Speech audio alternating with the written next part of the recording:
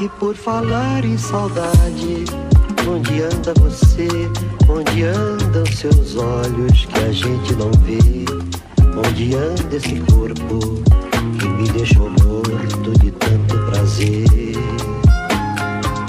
E por falar em beleza, onde anda a canção que se ouvia da noite? Dos bares de então, onde a gente ficava, onde a gente se amava em total solidão. Hoje eu saio na noite vazia, numa boemia sem razão de ser, na rotina dos bares, que apesar dos pesares me trazem você.